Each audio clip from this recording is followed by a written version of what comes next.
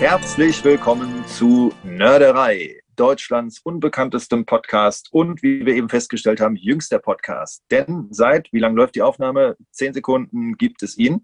Wir wissen noch nicht, wohin die Reise geht, aber haben gedacht, wir machen es, weil wir es können. Wir sind ja in einer Zeit, in der jeder, jede einfach mal drauf losspricht, es aufnimmt und meist Leute findet, die das auch noch lustig finden. Ich bin einer, der vieles lustig findet und viele Podcasts hört zu den eigenen Interessen, zu Michael Jackson, zu Masters of the Universe, zu äh, den drei Fragezeichen, zu Rocky Balboa, zu Alf und fast überall war ich auch schon zu Gast. Und jetzt habe ich gedacht, ich lade jetzt mal ein und habe selbst Gäste da. Und ich habe jetzt zwei wunderbare Gäste. Ich kenne sie ihr Leben lang schon. Es sind meine Brüder Markus und Manuel. Ich grüße euch. Hallo. Hi. Hallo. Ja, worum soll es heute gehen?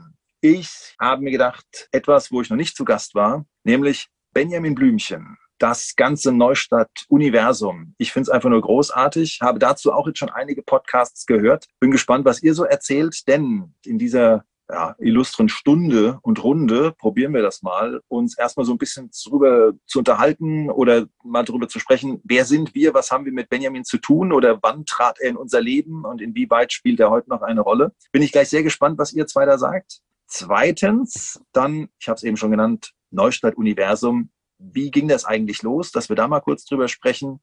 1977 ist er der Startschuss und ähm, ja, wir haben die Anfänge ja irgendwie mitgekriegt. Und drittens habe ich gedacht, wir sprechen mal über die wichtigsten Charaktere und deren InterpretInnen, wie man heutzutage sagt. Und zum Schluss die ersten drei Folgen Klassiker.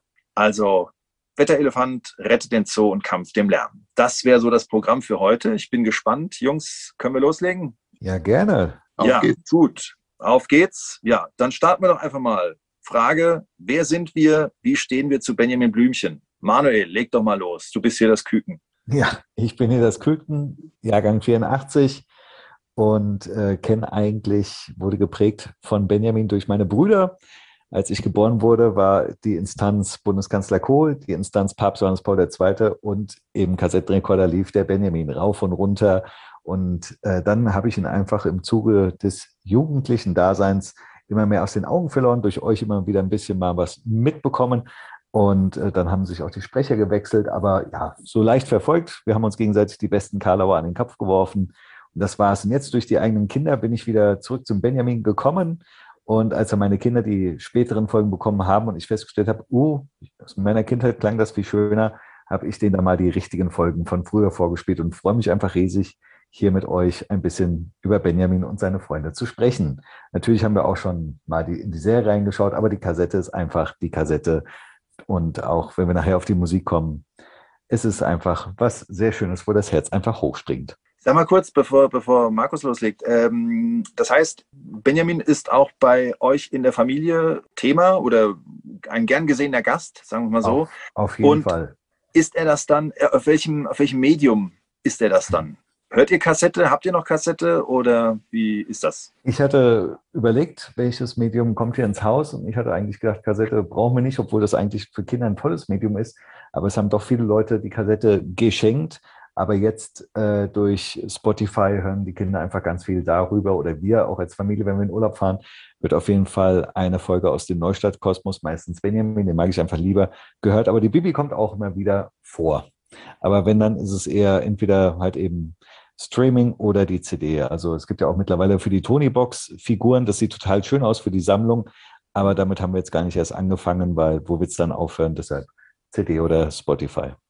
Das stimmt. Ja, die Tonys ähm, sind bei uns auch nie reingekommen, aber ich bewundere das immer, wenn ich das bei anderen sehe. Ja. Cool. Dankeschön. Markus, willst du mal fortführen? Ja, gerne. Also ich bin 41 Jahre alt und Benjamin begleitet mich eigentlich das Leben lang äh, ich sag mal, das gliedert sich so in zwei Phasen. Als Kind war das extrem ausgeprägt, angezündet, auch ehrlich gesagt durch dich, Matthias. Und dann gab es so nach der Jugend eine Phase, wo das gar keine Rolle gespielt hat. Und lustigerweise, glaube ich, ist bei uns als einzige Familie Benjamin Blümchen kein Thema. Sondern ich bin der Einzige, bei dem bekannt ist, dass ich mich damit natürlich mittlerweile eher ein bisschen, wie soll ich sagen, analytisch beschäftige. Allerdings konnte ich meine Kinder bisher noch nicht dafür begeistern. Ich bin definitiv, wenn ich mich mit dem Thema Benjamin auseinandersetze, eher bei den alten Medien unterwegs. Also sprich, ich habe, glaube ich, keine einzige CD und wenn, dann ist das ein Versehen, dass sie zu mir gekommen ist. Ähm, ich bin totaler Freund von Kassetten und habe eine riesen Vorliebe dafür entwickelt, ähm, die LPs zu sammeln beziehungsweise zu recherchieren, welche Folgen gibt's, welche habe ich vielleicht noch nicht oder auch so von den verschiedenen Generationen, also mit so technischen Aspekten und so weiter. Und ich bin totaler Freund von dem Medium Kassette, weil ich es einfach für das perfekte Kindermedium halte.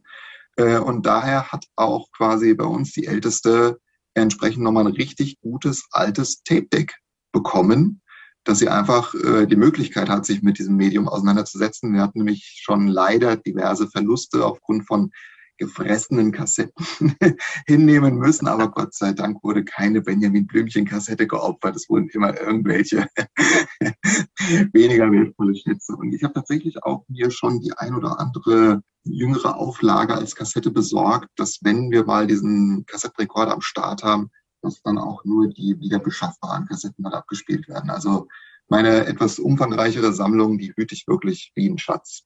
Ja, total. und ansonsten, ich bin mal total gespannt, wo uns heute die, die Diskussion so hinführen wird. Darf ich eine Sache bei dir noch ergänzen? Ja. Was mir so bewusst war, äh, wieder geworden ist, äh, stimmt, in deiner Jugendzeit war dann Benjamin vielleicht weniger Thema, aber irgendwie war es so üblich, dass wenn man ein Geschenk für dich gebraucht hat, ach komm, noch eine weitere Benjamin Blümchen-Folge kaufen und dann kam die in den Kasten. Das fand ich einfach toll. Es war nie ja. out und ich habe mich da auch da, ich habe die nicht zwingend hören müssen, aber alleine so dieses Wissen, okay, die Sammlung ist wieder komplett, ich bin auf dem aktuellen Stand. Äh, dann war quasi noch das Auspacken der Maximum, das Maximum der Gefühle in der Jugend. Ähm, dieses dann Hören, das kam dann erst viel später, ja. Und du bist bei, also wenn man jetzt von den Kassetten geht, äh, oder, oder, ja doch, du hast ja alles auf Kassette. Das heißt, bis zu welcher Folge hast du es? Ich glaube, aktuell sind es 151. Das sind 151. Ich gebe zu, dass es aufgrund äh, der Kinder im Moment ein bisschen eine Lücke gegeben hat. Ich habe mich lange nicht mehr gekümmert. Deswegen bin ich nur bei 125. Ja, wir haben dir auch schon lange keine mehr geschenkt, fällt mir gerade auf. Aber ist ja bald Geburtstag. Okay. Schmerzhafte Lücken tun sich da auf. Manuel, also äh, Reminder setzen. Äh, alles klar, gut, wir wissen Bescheid. Die ganze Welt weiß es jetzt auch. Sehr schön. Dann äh, ergänze ich noch rasch äh, von meiner Seite aus und ihr könnt gerne immer einhaken, wenn euch noch was einfällt oder so. Also ich bin jetzt offenbar als Initiator des Ganzen hier genannt worden, nicht nur für die Runde hier, sondern auch für Benjamin Blümchen selbst. Wir haben gerade eben äh, Lieber Zuhörer, liebe Zuhörerinnen, gerade eben festgestellt, dass in einem Urlaub ich wohl die erste Benjamin bekommen habe. Also ich kann mich an drei Folgen erinnern. Bei drei Folgen kann ich mich erinnern, wie ich sie bekommen habe. Zwei als Geschenk, ähm, und zwar die Folge 17, den Skiurlaub, und die Folge 21 als Weihnachtsmann. Die, da weiß ich genau, dass ich die geschenkt bekommen habe ähm, und wir die auch viel gehört haben. Aber die Folge 1, wie die in unseren Besitz gekommen ist, da bin ich in einem Urlaub vom Onkel ähm, in ein Geschäft begleitet worden, weil ich unbedingt ein Heft haben wollte, ähm, das es dann aber nicht mehr gab. Und dann hieß es, ey, dann sucht er halt irgendwas anderes aus. Und ich habe mir Folge 1 Benjamin als Wetterelefant ausgesucht. Ich weiß nicht mehr, ob ich da Benjamin schon kannte oder ob, ich weiß es einfach nicht mehr. Aber ich weiß, dass ich die Folge da bekommen habe und dass ich sie bis heute auch sehr, sehr schätze und mich auch sehr freue, dass die heute vorkommt. Ja, und dann noch ganz Fall schnell, eine weise Entscheidung. Ja, siehst mal hier, es hat unser Leben verändert und geprägt. Ja. Ähm, ja, zu meiner Person dann noch rasch. Also ich bin Jahrgang 79 und äh, schon immer Hörspiel Freund gewesen. Kiosk, jetzt heute Kiddings und Europa haben mich geprägt und ähm, haben mich auch nie wirklich verlassen, auch wenn Benjamin mal eine Zeit lang nicht ganz so in war, aber Hörspiele gehört, äh, vor allem halt Masters of the Universe, Jan Tenner und so, das habe ich doch äh, gehört ohne Ende, TKKG, drei Fragezeichen, all das. Und ja, Jan Tenner hat mich auch, glaube ich, wieder zu Kiosk zurückgebracht und dann natürlich als Vater der Sohnemann hat die ersten zwei Jahre gefühlt nie geschlafen und wenn ich ihn dann nachts rumgetragen habe, heulend, schreiend, habe ich dann mir die Stöpsel ins Ohr gesetzt und ähm, habe Benjamin Blümchen gehört und so ist er bis heute noch mein Beruhigungsmittel Nummer eins. Das muss ich ganz ehrlich sagen. Also ich höre den auch beim, beim Schaffen oder so, wenn ich ruhig, ruhig werden will oder ich habe letzt für eine Prüfung gelernt, ja, letzt, also Weihnachten letztes Jahr, vor Weihnachten habe ich eine äh, habe ich für eine Prüfung gelernt und ähm, habe so kurz vorher, ihr kennt das ja vielleicht auch noch, ähm, einfach gemerkt, dass ich nicht so weit bin. Also die Prüfung hätte ruhig noch zwei Wochen später sein können. Ähm, und habe dann einfach, um mich zu beruhigen, Benjamin angemacht. Der lief im Hintergrund, hat vor sich hinterrührt und äh, mir hat das einfach gut getan. Wir haben, ähm, also mit Sohnemann habe ich, wie gesagt, äh, dann ganz viel gehört. Der ist richtig, richtig reingekommen. Äh, wir haben bis Folge 140 haben wir sie. Und zwar in MP, im MP3-Format. Und ja, ich bleibe aber, muss ich sagen, Fan der alten Folgen und lustigerweise auch mein Sohn. Wir haben jetzt, er wird bald 13 und wir haben jetzt im Urlaub gerade wieder auf der Autoreise ähm, gesagt, oh, jetzt hören wir mal ein bisschen Benjamin, was hören wir? Und von ihm kam dann auch gleich, ey, lass uns doch eine von den Alten hören. Also Edgar Ott ist auch bei ihm immer noch der große äh, Favorit. Jürgen Kluckert macht seine Sache auch sehr gut, aber es geht irgendwie nichts über die Nostalgie. Und ich finde es ganz witzig, dass das sich auch auf Sohnemann übertragen hat. Zum Abschluss übrigens noch die Geschichte, äh, weil Markus gerade vom Medium Kassette gesprochen hat bei Masters of the Universe kann ich mich erinnern, äh, als wir damit angefangen haben, das zu hören, habe ich äh, Sohnemann eben auch einen Kassettenrekorder gegeben und den Kassettenkoffer hingestellt. Und das ist halt, wie Markus richtig sagt, das perfekte Medium für die Kinder. Die können das einschieben, auf Play drücken, hören. Ich weiß aber noch, wie wir dann gemütlich da im Bett lagen, eine Kassette gehört haben, so äh, aneinander gekuschelt und dann war plötzlich Seite 1 zu Ende und ich dachte, Mist, deswegen höre ich es meistens ähm, als, genau, denn irgendeiner musste halt aufstehen äh, und musste die Seite wechseln. Und das ist halt natürlich, wenn du das irgendwie anders hörst und alles am Stück hast, natürlich einfacher. Nun ja. Okay. Ich war noch in Ergänzung ganz kurz bei alten ja. Kassettenrekordern immer noch, man schläft dazu ein und dann kommt das mechanische, laute Knallen, dass das, die Play-Taste wieder hochsprang. Und lustigerweise als Kind, es hat einen nicht mehr gestört. Ja, das stimmt, absolut. Ist richtig, ist richtig. Seht ihr, Wahnsinn. das Witzige beim, beim Streamen ist, da ist es oft dann so eingestellt, wenn eine Folge zu Ende ist, beginnt dann die nächste, sodass du auch nachts um drei bist du wach und hörst immer noch den Benjamin Dörrer rufen. Das ist dann das, das andere. Das stimmt. Das, äh, das hatten wir mal bei einer Convention, da äh, waren wir zu mehreren in, es war keine Benjamin Convention, das wäre auch mal eine coole Idee. Das war eine Cosplay. Masters of Universe eine Grayscale Convention Masters of the Universe und da war ich mit ein paar Buben in einem Zimmer und der eine hat ähm, Alf angemacht, Folge 1 angemacht und ich bin in der Nacht alle halbe Stunde wach geworden, wusste dann immer, ah, jetzt sind wir bei der Folge, ah, jetzt sind wir bei der Folge. Und das war, das lief die ganze Nacht durch. Es war wirklich großartig. So können wir auch mal Benjamin hören. Jetzt sind wir bei Benjamin und ich schlage vor, wir, wenn Jungs, äh, ihr könnt natürlich auch gerne noch ähm, nachträglich was zu dem Punkt bringen. Aber ich würde jetzt gerne mal zu Punkt zwei kommen. Beginn des Neustadt-Universums. Ich nenne das jetzt mal so. Ich weiß nicht, ob es den Begriff offiziell gibt. Äh, vielleicht habe ich den auch aufgeschnappt beim ähm, Podcasten. Äh, ich glaube, wie heißt der eine Podcast? der ist eher für die erwachsenen Fans. Äh, Zuckerstück und Peitsche, den finde ich sehr ulkig.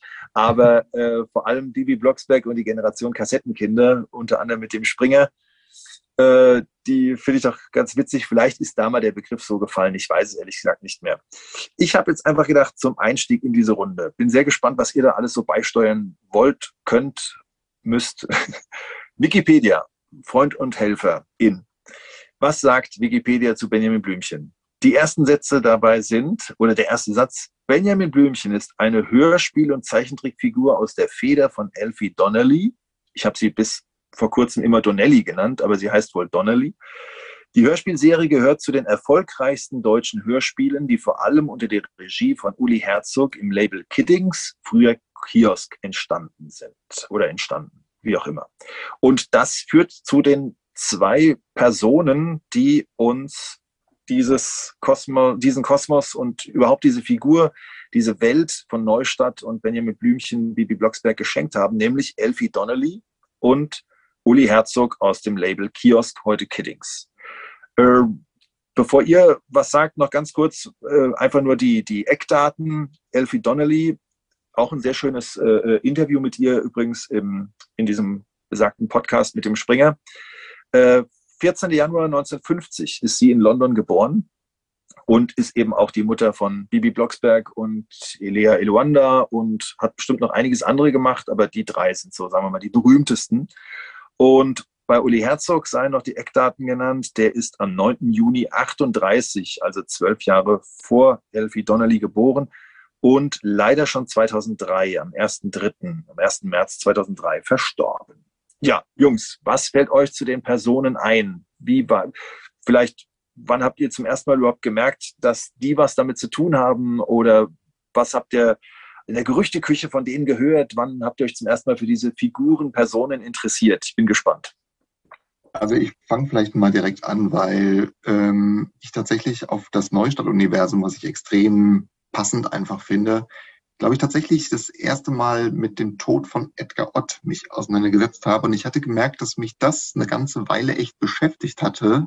Warum ja. auch immer. Also das ist so, es war so irgendwie für mich tatsächlich damals sogar schon als junger Erwachsener sehr schwer vorstellbar. Moment, jetzt kann ja nicht diese Stimme irgendwie aufhören. Das geht ja nicht. Das, äh, Benjamin hat diese Stimme, einen Punkt aus. Man wusste ganz genau, das ist eine fiktive Figur und zu der gehört diese Stimme. Ähm, insofern, das war so für mich, glaube ich, der Punkt, wo ich mich begann, damit etwas ja von der anderen Seite quasi damit auseinanderzusetzen. Und aus heutiger Sicht finde ich es extrem interessant auch zu sehen, was das für ein wahnsinnig familiärer Kreis quasi gewesen sein muss letztendlich, weil es sind ja nun wirklich nur noch zwei der ursprünglichen Sprecher. Ich glaube, Katja Primel und Till Hagen sind nur noch dabei von der Originalbesetzung. Ja. Ähm, ja, also ich stelle mir das immer so ein bisschen vor, die haben sich getroffen, so wie äh, ja sich wahrscheinlich erweiterte Familien irgendwie am Wochenende treffen und nach heute machen wir mal eine neue Folge, so ungefähr. Ähm, weil wenn man sich damit so ein bisschen auseinandersetzt, sieht man sehr schnell, was da alles für Querverbindungen entstanden. Ne? So Uli Herzog äh, mit hier der Stadträtin quasi Maria Axt und äh, genau, dann Elfie Donnelly eine Ehe mit Peter Lustig gehabt und so weiter. Also das finde ich unglaublich interessant. Und was mich auch noch so in jüngster Zeit wirklich sehr bewegt hat, ist immer wieder dieser Kontrast. Ich meine, wenn man sich so ein bisschen mit dem Lebenslauf von Elfie Donnelly auseinandersetzt, das ist ja nun wirklich kein, keine Lebensgeschichte, die, wie soll ich sagen, besonders behütet ist oder besonders geradlinig.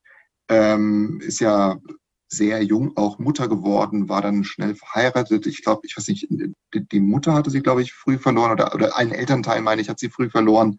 Und dann trotzdem im Prinzip sowas äh, auf die, ja, letztendlich zustande zu bringen, das finde ich extrem, ja, dann auch letztendlich bewundernswert. Ne? Das muss man mal, also das sind so Dinge, so Aspekte, die mich heute wahnsinnig dabei beschäftigen. Super spannend. Manuel, du darfst sofort, Entschuldigung, du hast gerade Luft geholt, glaube ich. Äh, ich wollte nur noch gerade ergänzen, zum einen äh, Edgar Ott, einfach für die, die es nicht wissen, aber ich glaube, die meisten, die hier zuhören, wissen das schon. Erster Sprecher äh, von Benjamin, von Benjamin Blümchen. Äh, der ist, das habe ich jetzt nochmal nachgeguckt, ich wusste, dass es Mitte der 90er war, ich habe aber jetzt nochmal nachgeguckt, also 1994 ist der verstorben. Und ähm, das finde ich einen wirklich sehr, sehr spannenden Eckpunkt, den du, Markus, da nennst, äh, um sich dann damit zum ersten Mal zu beschäftigen. Finde ich sehr stark. Bei mir übrigens ähnliches Erlebnis, äh, wann war es? 2013, glaube ich, als äh, Carla Kolumna, also nicht Carla Kolumna, sondern Gisela Fritsch verstorben ist. Das äh, hat mich ähnlich bewegt. Ich glaube, das war ähnlich, es ist ja dann fast 20 Jahre später, 19 Jahre später, krass eigentlich, ne? Ja. Ähm, und äh, so ähnlich ging es mir dann da. Manuel, Du, ich bin gespannt. Zwei Dinge. Zum einen mit Benjamin und äh, Edgar Ott in den 94er, äh, im Jahr 94. Das weiß ich auch deshalb, weil äh, es war kurz dann vor der Fußball-Weltmeisterschaft und ich weiß auch, wie wir uns auch darüber unterhalten haben, wie geht es denn jetzt weiter? Werden einfach alte Schnipsel äh, von anderen Folgen als ganze Sätze zu gefordert. Aber überlegt mal, als Kind, wenn man sich das überlegt, was das für ein Haufen Arbeit wäre. Äh, was ich auch spannend finde, einfach diese beiden Namen, äh, gerade Uli Herzog und äh, Elfie Donnelly, das ist ja das Schöne an der Kassette. Du hast ja stundenlang, während, während ich die Geschichten gehört habe, habe ich auf dieses Cover geschaut und ich wusste ja, Markus, ja. diese Kassetten durfte ich mir von dir ausleihen, deshalb wurden sie mit Samthandschuhen angefasst. Wahrscheinlich bin ich deshalb noch so ein Verfechter davon, dass man die Sachen ganz vorsichtig nur auspackt, einfach noch mehr Wertschätzung und stundenlang das Cover angeschaut, auch mit wie viel Liebe, dazu kommen wir wahrscheinlich später auch nochmal zu den einzelnen Folgen, wie die ausschauen, aber dann auch die Rückseite, diese Namen. Äh, ich glaube, später dann, als dann die äh, Katja dann den Otto gesprochen hat, ich glaube, ab dann wurde dann auch der Vorname abgekürzt. Auf jeden Fall ist ja dann auch der Name Elfie Donnelly stand da und Uli Herzog und das war dann einfach, die habe ich gelesen und irgendwie haben die sich im Hinterkopf dann eingespeichert. Ganz, ja. ganz genau. Und die Elfie Donnelly, während ihr das gerade so erzählt habt, dachte ich, naja, das ist im Prinzip die deutsche J.K. Rowling, also aus dem Kinderbuch ein ganzes Universum schaffen. Natürlich, die J.K. Ja. Rowling hat es mal ganz anders gemacht, aber Genau, und das noch mit der Stimme. Ihr habt, äh, wenn, wenn so eine markante Stimme äh, verstorben ist, das, so, so ging es mir ähnlich, äh, aber dann war ich natürlich schon Erwachsener. äh, als der Norbert Gastel, der, der deutsche Sprecher von Homer Simpson, verstorben ist, ja. 2015, das ist noch nicht so lange her, aber wie doch solche Stimmen sich im Ohr einprägen und vor allen Dingen auch, wenn du andere Filme oder andere Hörspiele hörst und dann begegnen die Stimmen wieder, dann fällt es mir manchmal schwer, hey Mutter, das ist doch der, der kann doch jetzt nicht den sprechen. Und irgendwo gibt's, habe ich neulich einen Film gesehen, da sprechen sowohl äh, der Edgar Ott als auch der ähm, Jürgen Kluckert beide äh, reden miteinander. Ja. Das ist einfach lustig, weil ich dann dachte, oh, guck mal, Stimmt. Benjamin unterhält sich mit Benjamin. Ich ja, weiß ja, nicht, welcher Film, ich kann es mal recherchieren. Ja, äh, aber das, ich, ich weiß, dass es den gibt, denn ich hatte wahrscheinlich das gleiche, ähm, gleiche Erlebnis. Wir kommen auch noch drauf. Stimmt, stimmt. Und äh, Homer Simpson-Sprecher stimmt auch. Mir ging es jetzt, oder es geht ja vielen, ich bin ja Rocky-Fan, äh, geht auch vielen Sylvester Stallone-Fans ebenso mit der deutschen, neuen, alten deutschen Stimme von äh, Sylvester Stallone. Da der Herr Dannenberg äh, in Rente gegangen ist. Genau ähm, genau, ist ja jetzt wieder Jürgen Prochnow, der in den ersten zwei Rocky-Filmen gesprochen hat. Der ist jetzt wieder Sprecher, ist aber auch stimmlich äh, doch eineinhalb Oktaven tiefer jetzt als früher, hat man so den Eindruck. Und äh, man muss sich da echt dran gewöhnen. Das ist schon, das ist, ja, es ist verrückt, aber es ist so. Dein Vergleich mit äh, K. Rowling, ähm, Joanne K. Rowling heißt sie, ne? Joanne K. Rowling. Mama äh, bei, Dolany, ja, das war mir jetzt schon klar. Äh, den finde ich aber ziemlich gut. Ich glaube, das, das würde ihr auch gefallen. Okay, nicht schlecht. Ähm, ja, Uli Herzog selbst ist mir noch, äh, in, äh, noch so im Gedächtnis, weil irgendwann auch, ich weiß nicht, wann, wann euch das so ergangen ist, aber man hat irgendwann gemerkt, dass der ja auch immer wieder äh, mitspricht, dass der selbst mitspricht. Mir ist es, glaube ich, zum ersten Mal bei Jan Tenner aufgefallen. Er ist nämlich da der Erzähler bei äh, Jan Tenner und er ist es auch in den allerersten sechs Folgen von Bibi Blocksberg. Ich glaube, die ersten sechs, da, wo die Reihe noch Ene Mene Hexerei hieß, ähm, war er dort auch Erzähler. Und Markus, ich meine, wir hatten mal ein Hörspiel mit Kaya und Markus. Absolut richtig, ja, genau. Da, da ist er auch Erzähler, oder? Ja, die großartigsten Stimmen überhaupt. Ja, Kaya und Markus, daran erinnere ich mich noch. Da ist er Erzähler. Und ähm, ja, genau. Was hast du noch zu ihm im Kopf, Markus? Ähm, genau, also dieses immer wieder in Erscheinung treten und so ein bisschen, wie soll ich sagen, weil es geht ja auch um das Thema Label Kiosk. Ne? Ich stelle mir manchmal so vor, ich fände es mal unheimlich spannend, auch mit Uli mal durch, durch, das Archiv zu gehen. Also ich staune immer wieder, ähm, wie es dann auch gelingt. Man kriegt ja auch heute noch quasi gerade die Folge 1 in fantastischer Qualität letztendlich. Und ich meine, wenn ich mir meine alten verrauschten Kassetten anhöre, ist es natürlich dem Medium der Technik geschuldet, dass da nicht mehr viel von übrig ist.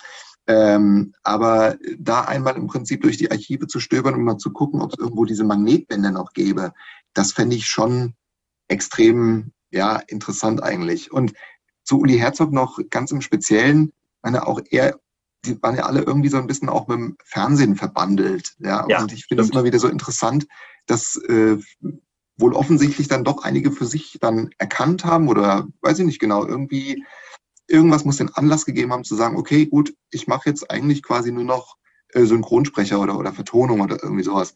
Und ähm, das scheint ja wohl eher bei Uli Herzog der Fall gewesen zu sein, weil ich glaube, seine Filmografie ist extrem überschaubar.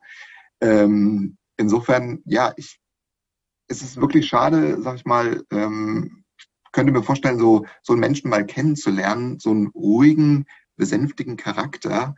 Äh, ich glaube, nicht zuletzt haben auch die Zigaretten damals alle noch ihren Beitrag dazu geleistet. Fände ich mal extrem spannend. Ja, es wurde ja auch früher im Studio noch geraucht. Ich höre ähm, auch sehr gerne im, auf YouTube oder gucke sehr gerne die Interviews äh, mit, mit Synchronsprechern. Ähm, jetzt kommt mir gerade der Name nicht mehr vom, vom äh, Kanal in den Sinn, aber den liefere ich noch nach. Ich komme gerade nicht mehr drauf, wie die heißen.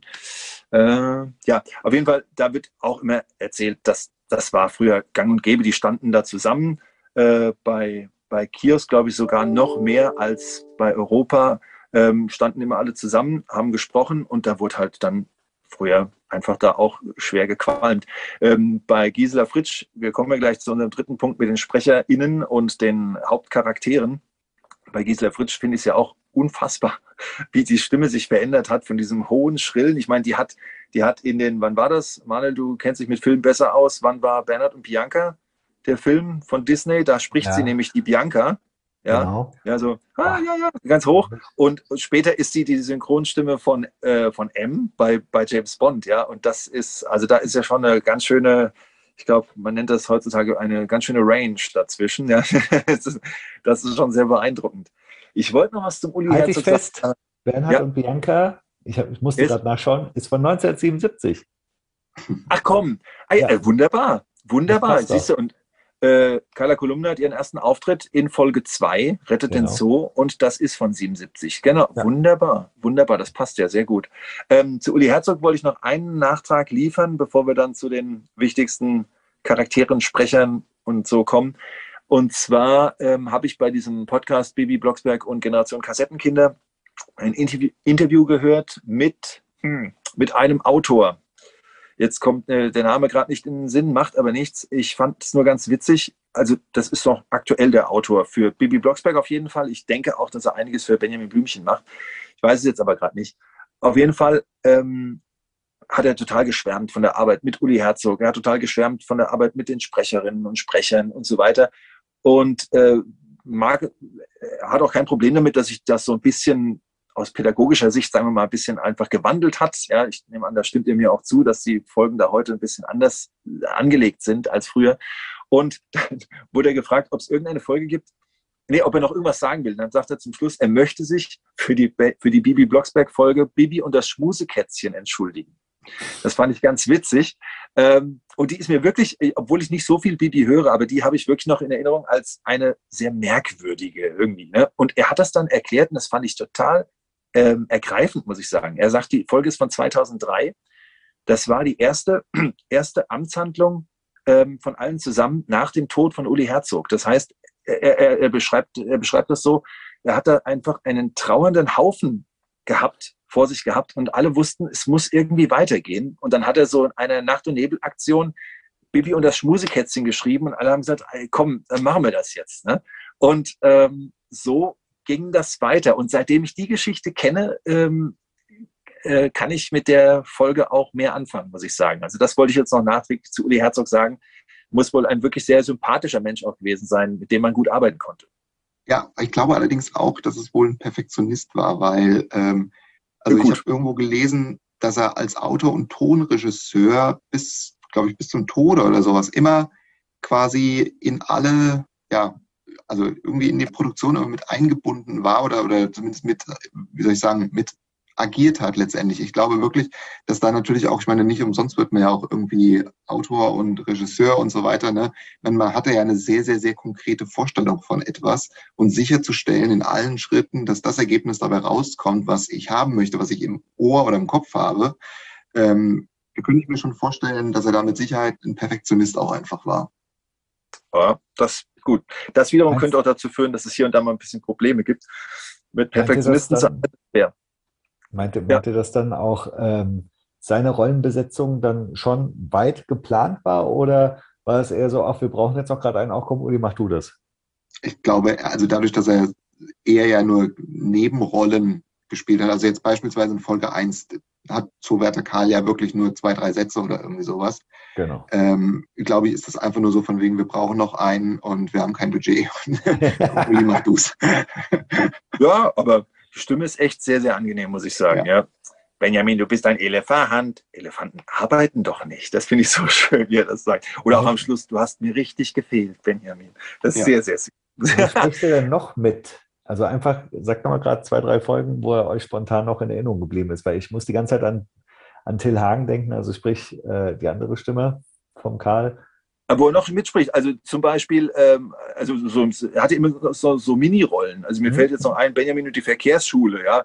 Ähm, was ist bloß mit Herrn Blümchen los? Da ist er so der Erste, der, der ähm, genau, ich gehe aber trotzdem rüber. Benjamin will, will nicht, dass er rübergeht, solange die Ampel rot ist da im, im Zoo, ja. Und ähm, so ist er. Oder schimpft dann mal ein bisschen mit oder lobt auch mal. Also so kleinere Rollen hat er. Ja. Cool. Da sind wir auch eigentlich schon bei den Sprechern, wenn das für euch okay ist, wenn wir gerade mal zu Charakteren und SprecherInnen kommen. Ja, ja gerne. Ähm, Markus, du hast ja schon Edgar Ott erwähnt. Ich denke, an dem Namen kommen wir nicht vorbei und wollen wir auch nicht vorbei. Äh, mich hat dieser Mann extrem geprägt, nicht nur als Benjamin, sondern eben als Stimme, die überall vorkommt. Er ist, äh, äh ist in den Charts vertreten als, als äh, äh, Sänger von Balou der Bär ähm, mit ähm, Probier's mal mit Gemütlichkeit. Ähm, gleichzeitig konnte er auch, und das finde ich so genial, der konnte auch die böseren Rollen sprechen. Ich war ja wirklich mal eine Zeit lang ähm, vernarrt in den ähm, Film Basil der Mäusedetektiv und da spricht der Professor Rattenzahn. So abgefahren, so böse, so genial, finde ich einfach nur großartig. Und was ich ähm, gar nicht mehr so richtig im Kopf hatte, das mir, fällt mir jetzt gerade noch ein, er spricht die zwei, drei Sätze im Mike, äh, nicht Michael Jackson, im ähm, Masters of the Universe Kinofilm, Das Geheimnis des Zauberschwertes, da spricht er Skeletor. Sehr, sehr beeindruckend, finde ich. Und so Ihr dürft. ist er ja auch noch äh, Sprecher von Obelix bei ja, drei Asterix-Filmen. Auch wieder herrlich. Oder was mir auch jetzt. Bei den besten Asterix-Filmen, wohlgemerkt. Och, ja. Und natürlich, äh, ähnlich wie es wieder bei Benjamin Blümchen war, so war es auch bei meiner äh, Lieblingsserie Die Dinos. Da hat er auch den Earl Sinclair, den ja, stimmt. Gesprochen. Das berühmte Bin da, wer noch, das hat er zuerst gesprochen, bevor es dann auch da, ich denke mal, da haben sie sich das ähnlich gedacht, ach Mist, Edgar Otto ist verstorben, wie traurig. Wen nehmen wir jetzt auch? Komm, der Jürgen Kluckert, komm, du sprichst gerade bei uns weiter. Und so ist hat es auch. Kann es sein, hat er auch in der Werbung früher das Überraschungsei gesprochen? Kann ja. das sein? Ja. Auch ja. Edgar Ott, Jürgen Kluckert, dass da, der Jürgen Kluckert hat dann quasi alles übernommen, was der gemacht hat?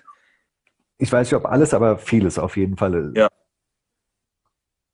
Deshalb, ich glaube einfach, es zeigt einfach das schauspielerische Talent letztendlich auch, ne, was er halt in die Stimme auch bringen konnte, so facettenreich wirklich das äh, auch glaubhaft einfach rüberzubringen, ne, so von wirklich ganz sanft und behütet, auch in den innerhalb der Benjamin Blümchen Folgen, ne, ist ja auch durchaus auch mal so, dass er wirklich in den Dynamiken extrem springen kann, ne, also so von halt Super. halt wirklich der ganz behütete oder behütende letztendlich bis hin zu, ich glaube, er wird verhext oder sowas. Da ist er ja wirklich äh, völlig apathisch und so weiter und rastet ja auch völlig aus und auch das. Ne? Also ich glaube wirklich, dass es einfach diese Facettenreichheit gepaart mit dieser tiefen, rauen Stimme, das macht es maximal attraktiv einfach. Mich würde ja mal interessieren, ähm, ist das Nostalgie oder ist es wirklich so? Ich habe den Eindruck, Jürgen Kluckert schauspielert, um Benjamin zu sein. Aber Edgar Ott war das einfach. Also hat, ich habe hab den, Eindruck, hab den Eindruck, der hat da nicht viel gemacht. Der spricht so normal und ich kaufe ihm das bis heute ab. Ähm, bei Jürgen Kluckert habe ich halt immer dieses hm, hm, Otto. Ja, das bin ich immer so ein bisschen, äh, also er macht alles, ist alles gut und, und, und schön und das ist heutzutage auch wahrscheinlich richtig so, aber es ist für mich irgendwie, ich habe noch den Eindruck, dass er in den allerersten Folgen ähm, noch mehr äh, äh, noch natürlicher klingt als in den heutigen Folgen. Ja, ich weiß nicht. Ich, glaub, ich glaube einfach, Edgar Ott musste sich deutlich weniger verstellen. Ja, wahrscheinlich. Ja, wahrscheinlich meine, ja. Er hatte ja nicht quasi die Herausforderung, ein Erbe anzutreten, sondern eine neue Figur zu schaffen. Das ist richtig. Das ist ja, richtig. Da hast du absolut recht, ja. Und Jürgen Kluckert muss ja irgendwie so an etwas anknüpfen und dann diese Rolle erst so weiterentwickeln. Gut, in das welche Richtung das geht, dann kommen wahrscheinlich auch noch irgendwelche Regisseuraspekte hinzu, plus nochmal genau die Autoren letztendlich, die ja auch, wie soll ich sagen, so das, das, das Wissen von Benjamin, das er hat, äh, die Wortgewandtheit oder auch ne, so Allgemeinwissen und so, das ist ja gefühlt ein Stück weit weniger geworden. Damit muss man auch irgendwie umgehen und das schlägt sich am Ende des Tages auch meiner Meinung nach in der Stimme nieder. Und ich glaube, all diese Faktoren führen auch dazu, dass das letztendlich dann ein Stück weit auch, ja, vielleicht tatsächlich gekünstelter wirkt oder aufgesetzter wirkt. Könnt ihr euch noch ja. daran erinnern, als 95, Folge 81, das Geheimnis der Tempelkatze kam, das war ja die erste Folge mit Jürgen mhm. Kluckert, ähm, wie die bei euch ankam. Also ich kann mich noch daran erinnern, dass wir darauf hingefiebert haben. Und als du dann, Markus, die hattest, dann war das so eine Mischung aus, ja, eine solide Benjamin Blümchen-Folge, aber die Stimme war wirklich, äh, ja, irgendwie anders. Nicht schlimm, aber auch nicht, ja, aber keine Meiner Meinung nach war da noch viel zu viel. Also ich müsste mir sie heute tatsächlich vielleicht nochmal ganz aktiv anhören. Damals war, das weiß ich noch, viel zu viel, also aus heutiger Perspektive viel zu viel Trauer oder Vermissen von Edgar Ott dabei. Mhm. Deswegen, man hat das so, wie soll ich sagen, ja, zur Kenntnis genommen und ja, schön, es gibt weiterhin Benjamin und okay, gut, es hat sich jemand gefunden, sie haben jemanden, der tief spricht, gefunden. Ähm, aber das wirklich, das, da, da kam überhaupt nicht dieses Bild von Benjamin dann im Kopf auf, wenn man diese Kassette gehört hat. Äh, aber spannend finde ich es auch, dass es dann äh, dadurch, also das Geheimnis der Tempelkatze ist ja von, vom Plot her auch ganz anders. Mhm. Ähm, es vielleicht noch vergleichbar mit äh, Benjamin und Bibi in Indien. Also da hat man so ein bisschen daran angeknüpft. Aber ansonsten ist das ja so eine, so eine richtige Abenteuergeschichte. Es ist ja fast Benjamin als Indiana Jones, ja, sozusagen. ähm, und äh, das äh, dadurch finde ich, also ich finde, das ist ihnen echt gut gelungen. Und nach wie vor behaupte ich, dass Jürgen Kluckert da irgendwie noch nicht so viel, noch nicht so viel gepresst hat, noch nicht so viel also der ist, ja. behaupte ich mal, recht, recht locker daran gegangen. Unverformter. Ähm, ja, so habe ich zumindest den Eindruck. Und ähm, ich schlage einfach mal vor, dass wir noch zur zweiten einwandfrei Hauptperson kommen, bevor wir dann vielleicht ein bisschen reden müssen, wer ist noch Hauptperson und wer äh, vielleicht eher so eine Gelegenheitsfigur. Äh, Finde ich sehr, sehr spannend. Aber natürlich müssen wir zu Otto kommen. Otto hat drei wie nennt man es beim Hörspiel? Dreimal Facelifting hinter sich, äh, Voicelifting sozusagen. Äh, in den ersten fünf Folgen von 1977 bis 1980, glaube ich, sind die aufgenommen. Ähm, also die ersten zwei Folgen 1977, dann ist aus irgendeinem Grund ein Sprung, dann geht es erst 79 weiter, glaube ich. Also 78 gab es nichts. Also von 77 bis 80 ist es Alexander Rosenberg und 6 bis 33 ist es Frank Schaff der auch jetzt noch sehr, sehr aktiv ist im Synchronbereich, Dialogbuchregie und äh, als Sprecher immer wieder zu hören und auch meiner Meinung nach auch noch zu erkennen. Und seit Folge 34, und wohlgemerkt, wir sind jetzt gerade, Stand heute, bei 151 Folgen plus Zeichentrick, plus äh, äh, äh, gute Nachtgeschichten, plus was weiß ich, äh, ist, es also, ist, es, äh, ist es Katja Primel, die anfangs sogar noch Kai Primel hieß. Wie sieht's aus? Habt ihr zu ihr, zu ihm, zu denen irgendwas, was euch so besonders noch im Kopf ist, auf dem Herzen liegt, wie auch immer? Ich finde Also ich glaube gerade der Sprecher Otto, von Otto besser gesagt, ist mit Sicherheit eine Figur, die, wie soll ich sagen, ein bisschen die meisten Fragen aufwirft, wenn man sich so damit recherchierend auseinandersetzt. Weil, okay, Alexander Rosenberg abgehakt, ja, dann geht's schon los. Frank Schaff, wie heißt er denn jetzt? Frank Schaff oder Frank Schaff Langhans, wie in manchen äh, Covern auch geschrieben wurde. Und dann Katja Primel, finde ich ja auch sehr interessant, dass das dann noch umbenannt wurde am Anfang in Kai Primel, damit man ja Otto weiterhin, ne, männliche Figur muss da ja im Hintergrund stecken, warum auch immer. bis dann irgendwann mal klar wurde, okay, gut, jetzt wurde ein Mädchen oder ja quasi eine Frau gewählt, dass einfach die Synchronie, äh, die, die Konstanz dieser Stimme gewahrt bleibt. Ähm, das sind so Faktoren, finde ich, wo man auch so ein bisschen den Zeitgeist ablesen kann. Ne? So von wegen, dass eine, eine männliche Figur muss auch einen männlichen Sprecher haben. Das finde ich irgendwie, und das dann gefühlt quasi echt erst recht spät, dass offengelegt wurde, ah nee, wenn hier ein Mädchen oder ein Mädchen spricht das ein, ähm, das finde ich so, sind interessante Dinge, die dann auch so ein bisschen den Zeitgeist widerspiegeln letztendlich.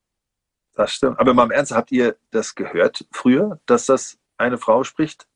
Nein. Also für, für mich war das wirklich, das war für mich, er, ist, er war halt plötzlich deutlich jünger von der Stimme her, aber dass das, dass das eine weibliche Stimme ist, habe ich nicht gemerkt. Genau. Und er altete nicht. ja, genau. Das haben wir gemerkt, genau.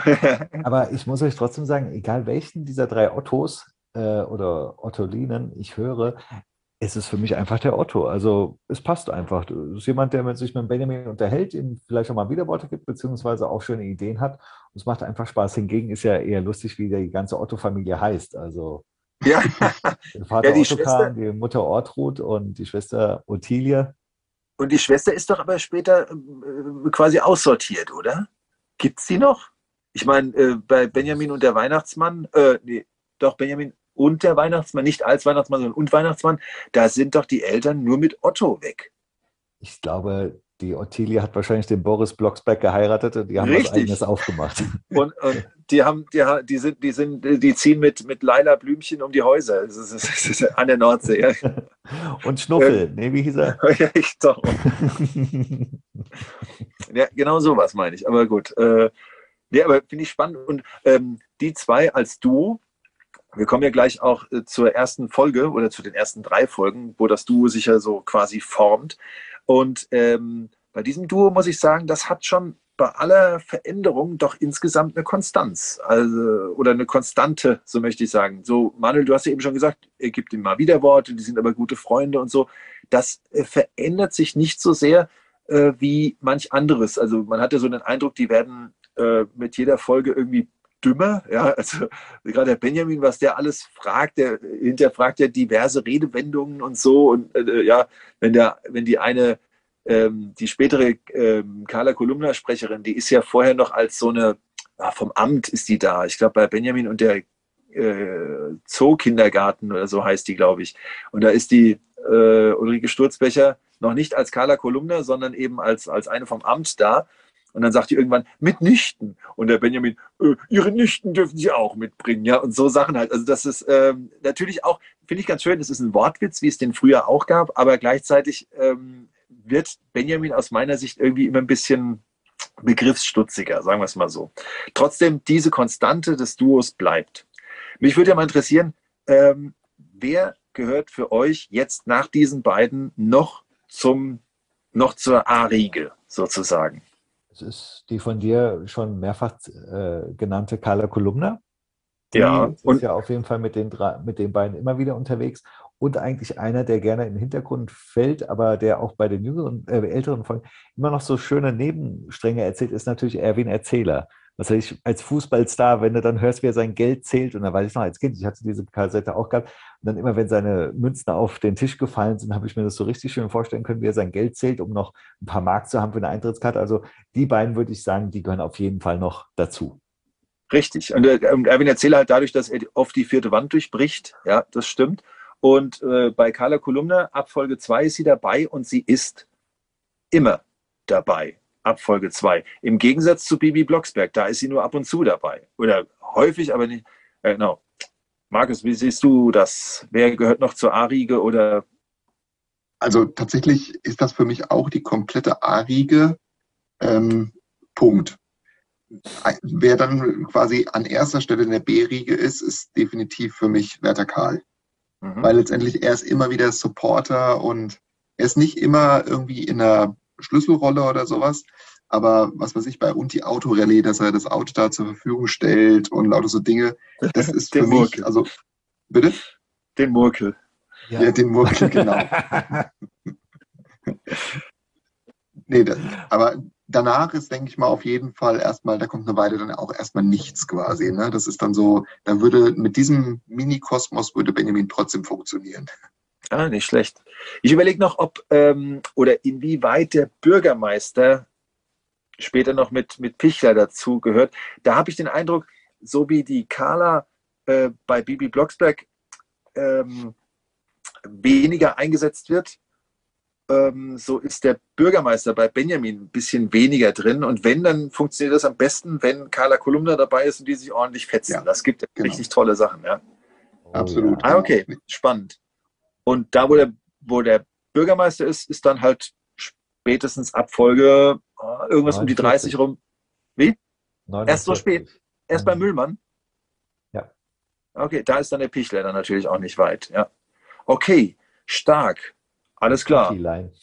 Pichilein, ja. Und Pichilein finde ich ganz gut, ist eine schöne Überleitung zu dem letzten großen Punkt, zu den ersten drei Folgen. Denn der Sprecher von Pichler, Manuel, heißt wie? Wilfried Herbst. Dankeschön, genau. Wilfried Herbst, für mich auch äh, unvergesslich als ähm, Mimo bei Jan Tenner, der Bordcomputer vom Silbervogel. Ja. Mini, ähm, Wilfried Herbst ist die allererste Stimme, die wir bei Benjamin Blümchen hören. Und er, ganz kurz ja. noch was zu ihm, auch, weil ich weiß, du willst ja jetzt noch weiter, aber einfach nur, äh, was, was mir eben aufgefallen ist, äh, Wilfried Herbst hat auch den Slimer bei The Real Ghostbusters gesprochen. Ah, sehr cool, das wusste ich jetzt nicht, aber haltet cool. euch mal vor Augen, die Ghostbusters sind ja so äh, 90er-Serie und der Mann ist 1935 geboren. Überlegt mal, was der schon alles erlebt und gesehen hat. Und dann spricht er den Slimer oder halt eben auch so andere interessante der hat schon Persönlichkeiten. Und gerade, weil ich ihn die Antenne eben noch erwähnt habe, die Antenne ähm, erfährt seit 2019 ein zweites Revival in Hörspielen. Ähm, und da ist ja auch der Bürgermeister, der erste Bürgermeistersprecher ist auch als General Forbit dabei, ist auch äh, ganz, ganz spannend. Aber ähm, Wilfried Herbst haben sie auch wirklich bei der Neuauflage von Jan Tenner, bei der auch der alte Jan Tenner-Sprecher Lutz Riedel und seine Frau Marianne Gross ähm, dabei sind und auch immer noch Jan Tenner und Laura sprechen. Aber Wilfried Herbst ist in den ersten paar Folgen auch noch als Mimo-Sprecher da. Man hört deutlich, dass er älter geworden ist, aber ähm, er ist dabei, das finde ich stark. Allerdings, also sie haben ihn gewinnen können und dann irgendwann hat er wohl gesagt, jetzt reicht's mir aber. Und dann, ähm, das ist ja ein Computer, das heißt, da wurde einfach das Sprachmodul ausgetauscht und jetzt ist es ein anderer Sprecher. Fertig. Ja. Aber ich finde es schön, dass sie den nochmal wiedergeholt haben. Und der Mann, wie gesagt, die Jagen 35, alle Achtung. Also was der durch, krass. Aber wie gesagt, ich komme jetzt mal zur Folge 1. Benjamin Blümchen, der erste Wetterelefant der Welt oder als Wetterelefant. Markus, ich glaube, da kannst du gleich noch ein bisschen, oder Manuel, du auch, äh, könnt ihr gleich noch ein bisschen was zum Werdegang der Geschichte ähm, äh, sagen oder zum Werdegang des, ja, des Titels, des Covers, zu allem Möglichen. Ähm, aber man hört ihn als allererstes als Siegfried Simpel und ich bin jetzt mal so frei, es sei denn, ihr wollt unbedingt, sagt nochmal ganz kurz, worum es geht. Also in Folge 1 geht es darum, dass eben besagter Siegfried Simpel, der Wetterhahn, in Urlaub möchte und dann zum Arbeitsamt geht, mit Herrn Tierlieb, äh, Entschuldigung, mit Herrn Schläfrich spricht ja. und, und eine Vertretung bekommt, nämlich ein gewisser Herr Blümchen, der im Zoo arbeitet. Sicherlich ist der Tierwärter oder sowas. Ja. Ähm, Benjamin kommt, das hat er sich nämlich schon immer gewünscht, hat sich da also äh, schon vor Jahren eintragen lassen, erscheint dort, ähm, kriegt noch eine kleine Einweisung, Siegfried Simpel fliegt weg und jetzt ist das große Problem erstmal, wie kommt Benjamin da hoch? Zuwärter Karl als Feuerwehrmann ähm, kommt an, kommt dann auf die Idee, dass man da eine Plattform bauen sollte. Er wird hochgehievt mit einem Hubschrauber und ist dann der erste Wetterelefant der Welt. Ähm, klingt erstmal alles recht unspannend, so originell es auch sein mag. Aber jetzt kommt es, mitten im Mai schneit es und die Kirchturmglocken sind eingefroren und wie wir vom Bürgermeister hören, äh, es kommen keine Touristen mehr. Von heute auf morgen ist der Tourismus abgestorben. Neustadt ist am Ende. Und Benjamin, der verpflegt wird von Otto, den er da kennenlernt. Otto kraxelt da hoch. Äh, erstmal hilft er ihm, dass ähm, durch die Tante Aurelia von den, vom Verein der mildtätigen Hände, dass dann ein ordentlicher Pullover gestrickt wird. Und Benjamin ähm, kriegt dann von Otto beigebracht, dass er Weihnachtslieder trötet. Und jetzt haben sie eine neue Attraktion in Neustadt. Und damit verbringen sie diesen winterlichen Mai, bis es wieder sommerlich wird und Siegfried Simpel zurückkommt und ja, wir eine erste wunderbare Folge haben. So viel vielleicht zum Plot. Habe ich noch irgendwas vergessen oder? Alles, Wunderbar zusammengefasst. Man kann noch ergänzen, okay. Siegfried Simpel war ganze zwei Wochen in Urlaub, was ein Luxus. Ja, aber gut. 14 Tage Urlaub hatte er. Dafür Bitte? auch das erste Mal überhaupt. Richtig, genau. Und war auch nie krank. Ja, genau. Ja. Und, und Benjamin Blümchen konnte den Tourismus im Mai mit Schnee mit äh, ihr Kinderlein Comet, Comet. Äh, wieder Richtig. trötend quasi ankurbeln. Sehr schön, ja. Äh, ja. Vor allen Dingen, was auch ja. spannend ja, ist, Siegfried Simpel sagt, er macht das ja schon zehn Jahre. Jetzt nehmen wir mal an, die Geschichte erzählt im Jahre 77. Das heißt, er macht das seit 67. Und dann, das, wenn er es bis heute machen würde, wären das 55 Jahre schon als Wetterhahn. Nicht schlecht. Was ein Jubiläum, ja. Wer weiß, 67, das waren ja die wilden äh, Ende 60er. Boah, da ging es, was, was der alles von da oben schon für Sachen gesehen hat. Ich will es gar nicht. Ja, ähm, ihr dürft gerne einfach mal so drauf losreden, was euch zu Cover sonst wie einfällt. Ich meine, es ist die erste Folge, man wird eingeführt in diese Welt. Es dauert, glaube ich, ungefähr neuneinhalb Minuten, bis Benjamin zum ersten Mal überhaupt zu Wort kommt. Ja. Ähm, ich habe mir so ein paar Kategorien überlegt, aber würde gerne gerade bei der Folge euch erstmal einfach lossprechen lassen, bevor ich dann mit meinen Kategorien komme, wie wir das bei jeder Folge dann machen könnten, wenn ihr nichts dagegen habt. Legt mal los, was euch so einfällt. Also, ich meine, man merkt ganz klar, meiner Meinung nach, dass quasi mit Folge 1 noch so eine gewisse Findungsphase äh, ja, vollzogen wurde letztendlich. Das zeigt sich allein schon im Titel, weil ich meine, der wird auf viele Arten und Weisen geschrieben, aber letztendlich ist es auch irgendwo so ein Stück weit als erweiterter Relativsatz der erste Wetterelefant äh, der Welt Das ist ja auch, sag ich mal, in weiteren über 40 Folgen eher dann einmalig. Das kommt ja nicht ja. mehr nochmal. Und dann letztendlich auch, ich meine, ich weiß nicht genau, welche Generation von Kassette Folge 1 ich habe. Allerdings, also bei mir ist jetzt hier wahrscheinlich eine, die relativ weit verbreitet ist, noch das alte Kiosk-Logo mit dem äh, rot-gelben Kassettenrücken oder, oder ja, Coverrücken letztendlich. Benjamin natürlich auch noch in seiner nicht gefundenen Montur, sondern hier mit diesem bunt gestrickten Schal und mehr oder weniger ansonsten mit seiner nackten Elefantenhaut.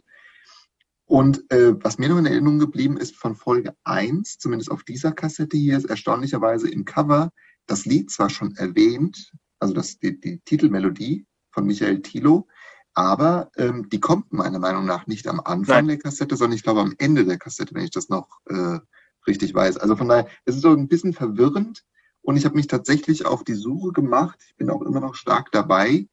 Ähm, ich habe irgendwo recherchiert, dass die allererste Kassette ja auch noch mit dem ganz ursprünglichen Cover, was, glaube ich, von was, Peter Lustig?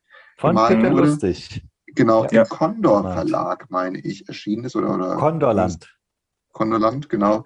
Ähm, und noch entsprechend völlig anders aussah. Also von daher, ich glaube, das ist definitiv eine der Folgen, die wahrscheinlich die meisten Wandlungen im Laufe der ganzen äh, Benjamin Blümchen-Ära vollzogen hat. Das finde ich aus heutiger Sicht wirklich sehr, sehr interessante Aspekte einfach.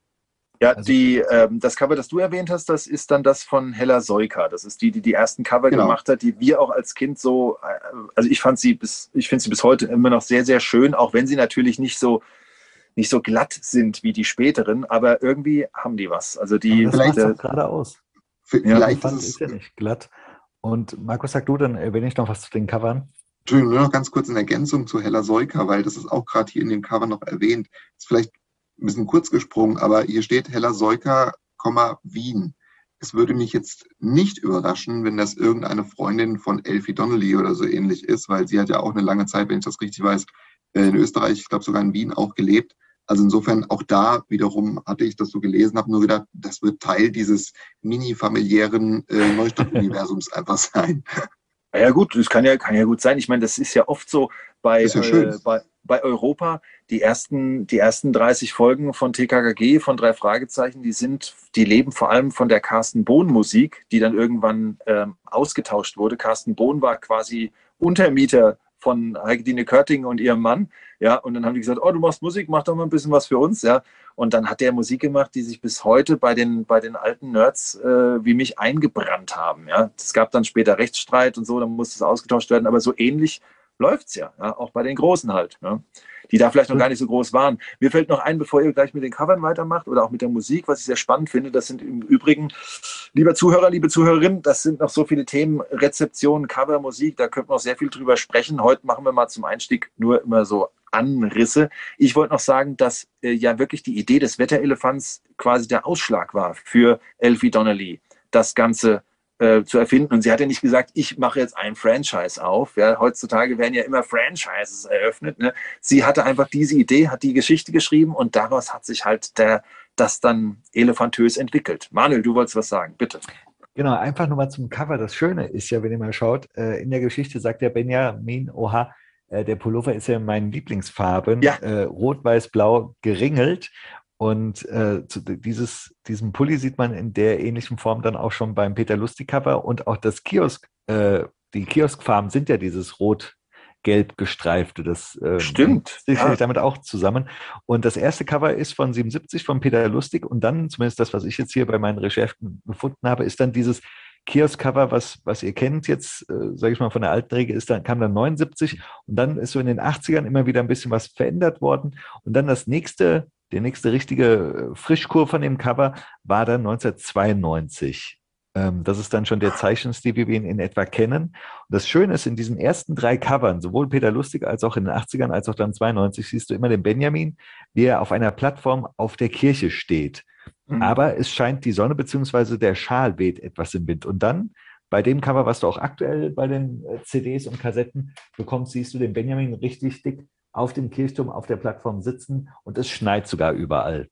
Das ist, äh, fand ich auch nochmal interessant. Also ich meine, Hörer können es nicht hören, aber ich würde es ja, gerne mal sehen. Ja im Handel ich habe vor einiger Zeit nämlich auch die, ähm, die, die, die Zeichentrickfolge dazu gesehen und fand das so spannend, dass da nicht nur eine Plattform ist, die haben ja da so einen richtigen Balkon gebaut quasi. Ja? Benjamin und Otto laufen da die ganze Zeit über den Balkon. Ach, das sieht ja toll aus. Das, das ist das aktuelle Cover quasi. Das ja? ist das aktuelle Cover, das hat meine Ja. Tochter auf Ja. CD. ja, cool. Das gibt es seit 2011, dieses Cover. Interessant ist auch, wenn du ja sagst, da gibt es einen Balkon, auch das ist ja schon, ich weiß, wie es euch ging, aber als ich das als Kind gehört habe, klang das ja auch immer sehr, sehr gefährlich. Dann auch, ich meine, das Schöne ist ja, äh, auf der Plattform lernt ja Benjamin da auch den Otto kennen. Äh, Dann beginnt sozusagen diese langjährige Freundschaft. Da dachte ich schon immer, oh, ist das nicht ein bisschen gefährlich? Äh, Aber finde ich einfach schön. Also dieses Cover ist wirklich eine schöne Geschichte, aber das ist auch so eins der Cover, wo du die meisten Informationen noch zu kriegen kannst. Bei den anderen wird es schon wieder schwieriger. Und dann gibt es auch noch eine LP-Sonderedition. Markus, du hast die äh, Schallplatte. Das ist dann Hab ich im Geschenk, glaube ich. ist ja nochmal ein anderes Cover. Da siehst du auch wieder den Benjamin, ein bisschen angelehnt an früher. Äh, aber dann guckt da auch noch der Otto aus dem Kirchturm. Oder ist es bei den anderen auch schon? Das kann ich jetzt nicht so ganz Ah, der guckt dann von unten hoch. Ja, stimmt. Genau. Genau, die ist meiner Meinung nach in einem wirklich sehr äh, stilvollen äh, Retro-Look äh, entstanden. Die ähnelt sehr dem ursprünglichen, also nicht dem Peter Lustig-Cover, sondern diesem ersten äh, Kiosk-Cover letztendlich. Ne? Da Von also Seuker. die, Aber da äh, steht dann schon drauf, ne? als Das wäre der Elefant. top, es schneit nicht, bis ein Wind Mhm. geht. Also ideal. Aber, es, aber die Folge heißt dann da schon bei der Schallplatte, ist ja von 2012 als Wetterelefant, gell? Ja, genau. Ja. Genau. Und, die, Ja, und Markus, bei deiner, bei deiner Kassette, die du hast, steht da noch der alte Titel oder da auch der neue? Genau. Hier, steht Benjamin Blümchen, der erste Wetterelefant der Welt. Okay, und Ist das die, ist das die, die äh, ich aus dem Urlaub mitgebracht habe, quasi? Ja. ja? Da steht das noch drauf. Ach, krass. Genau. So alt Ja, bin ich. Interessante ist, hier 92 vorne ist das ja, Und 92 mit dem neuen Design dann, also mit dem, ich sag mal, das sieht dann schon eher aus wie eine Zeichentrickserie, das war dann 92, da steht dann als Wetterelefant. Krass. Okay. Okay, ich glaub- okay. Ich glaube, wir müssten noch mal ein bisschen zur Geschichte selber kommen, oder? Weil Cover ist ja spannend, aber diese Folge ist ja auch so voll mit tollen Zitaten. Ja, ich ähm, bin jetzt einfach mal so frech, gerade weil es ja, es ist ja ein, eine Pilotfolge bei uns. Das heißt, äh, ob und wie die Reise weitergeht, werden wir noch sehen. Ähm, aber wir ist ja alles so, wie wir es wollen. Wenn wir irgendwann sagen, hier, wir haben in der ersten Folge damals viel zu kurz über Folge 1 gesprochen, machen wir mal eine extra Folge zur Episode 1. Das macht ja gar nichts. Ich bestimme jetzt einfach mal, dass ich meine, wie viel sind es? Zwei, vier, sechs Fragen loswerde und die dann auch nachher auf Folge 2 und 3 noch anwende. Ja, haha, ich bin jetzt so fies. Sagt bitte mal jeder, jeder einen Satz zu folgender Frage. Wie gut arbeitet das Team Benjamin und Otto für euch in Folge 1? Entschuldigung, die Skala ist von bis. Ja, du, musst, du kannst auch einfach einen Satz sagen. Das muss so. Skala, Skala habe ich nur beim letzten, wenn ich eine Wertung verlange. Hey.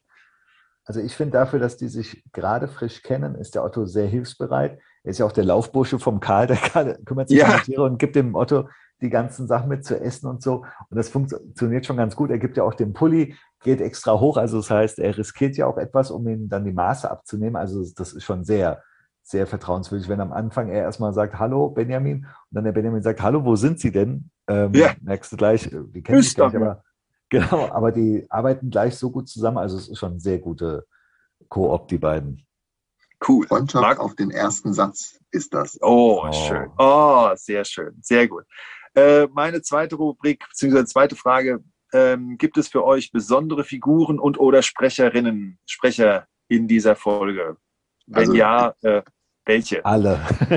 Ich wollte Ja. gerade sagen, gerade in der ersten Folge alle, ja, aber wirklich Siegfried Simpel meiner Meinung nach ist äh, schon sehr unique und es braucht etliche Folgen, bis etwas Gleichwertiges, jetzt mal abgesehen von Carla Kolumna, die ja dauerhaft dabei bleibt, aber so als Gast irgendwie oder als Star, um den sich irgendwie alles dreht, als äh, genau singuläre Hauptfigur Siegfried Simpel, definitiv.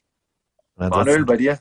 glaube ich einfach die Sprecher, weil wir ja schon die späteren Folgen alle kennen, das konnte man ja damals noch nicht wissen. Aber wenn du dann hörst, ach guck mal, der Herr Tierlieb, der spricht da den Herrn Schläfrich vom Arbeitsamt oder der Pilot vom Hubschrauber, das ist der Karl und der Uli Ja. Herzog ist der Bertha Karl und natürlich auch das kleine Mädchen, äh, was immer wieder nervig ist. Ja. Ja, Mini! Das ist ja die spätere Marita, Freundin von der Bibi Blocksberg. Das ist so eine markante Stimme. Ich weiß gar nicht, was die für tolle Sätze sagt, aber ist einfach, ähm, ja. Da sind, Und da natürlich sind auch der mega- Benjamin, auch der Benjamin einfach von Sekunde eins denkst du, das ist der Elefant, der auch erstmal seinen eigenen äh, Ruf sozusagen übt. Mal hörst du einen Tröt, dann hörst du einen Trörö und dann auch mal einen Törö. Das finde ich einfach super, wo wir sagen, ist doch klar, wie es heißt, aber damals wird noch so ein bisschen gespielt, also alles super. Macht so richtig. Dritte, dritte äh, Frage, habt ihr Lieblingsstellen und oder Zitate? So viele. Ja, es ist wirklich wahr, es ist unfassbar. Ich finde ja irgendwie, das ist eine total kleine Stelle, aber ich mag unheimlich dieses, äh, Sie behaupten, wir hätten ein ganz mickriges Glockenspiel. Hat man sowas schon gehört? Nein, das haben wir noch nie gehört. Und dann plötzlich einer, doch, ich habe sowas gehört. Moment, das war im Jahre. Das sind so kleine Stellen. Ich verömmel mich dermaßen. Also ich finde sowieso, diese, diese Folge ist äh, noch extrem gespickt mit Gags, die quasi auch eigentlich dann die Eltern, über die eher die Eltern ja. lachen müssten im Prinzip. Also ja, absolut. Ne, auch so diese ganzen Klischees, die bedient werden, von wegen hier Herr Schläfrich vom Arbeitsamt, wenn der das erste Mal aufwacht und wenn äh, Siegfried Simpel durch das Arbeitsamt läuft und wo gibt's denn sowas? und, das, und die Berufe von A bis Löwenzahn, Löwenzahn, was Löwenzahnbändiger. Ja. Genau. genau. Wo ich dachte, ist das vielleicht eine Anspielung auf Peter Lustig, aber das weiß ich jetzt nicht. Ja, auch, ja. ja oder, oder, Zauber, oder Zauberlehrling und ja, wie Wetterhahn gehört ja dann wohl dazu. Also, ja. W kommt doch vor Z, oder? Ja. Und das finde ich aber schön. Das sind so Fragen, die kommen aber nicht so dümmlich rüber wie bei den späteren Folgen, so nach ja, dem Motto, was stimmt. ist ein Leuchtturm und so.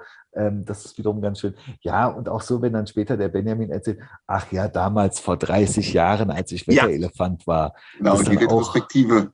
Ja. Und das ist, das ist ganz spannend. Das gibt es zum Beispiel auch später bei ähm, ne, ähm, Seiler. Als Filmstar, als Filmstar zum Beispiel, da reden sie auch drüber, weißt du noch, damals, ähm, als wir den Film gemacht haben, mit dem Waisenhaus, das wir sie gebaut haben und so, äh, das gibt's ja immer wieder, aber das führt jetzt direkt zu meiner vierten Frage mit ähm, Motiven oder mit, mit Konstanten, die hier, Weichen, die hier gestellt werden in dieser Folge 1. Also, wie sieht das denn da bei euch aus? Findet ihr da welche? Seht ihr da schon was? Mein Benjamin trötet noch mit Tröt statt Törö, aber jo, und es ist noch kein Zuckerstückchen, es sind, ähm, wie sagt es, auf jeden Fall Zucker. Sie sagen auch nicht Würfelzucker, aber das, das kommt da auf jeden Fall vor. Dann die Leidenschaft für einen Beruf. Dass er, äh, gut, hier sagt stimmt. er, das wollte ich schon immer machen, aber generell der Beruf einfach. Das stimmt. Hm. Markus, fällt dir noch was ein? Irgendwelche? Ähm, ich, ich habe sie nur gehört nochmal und habe nur gedacht, von wegen, ah ja, krass, da wurde das schon gelegt, aber ich muss ganz ehrlich sagen, ich kann es im Moment nicht mehr benennen. Schade. Ähm, ja, mir fällt halt noch ein, dass diese, die, dass dieses Setting mit dem äh, oder das Einbringen der Politik, also ja. das, ich, ganz so extrem ist es später vielleicht nicht mehr, aber überhaupt Bürgermeister und, und äh, die Ämter und so, ja. das spielt ja da auch immer wieder eine Rolle. Und das ist da von, von der ersten Folge an dabei. Das finde ich schon, finde ich schon ziemlich stark.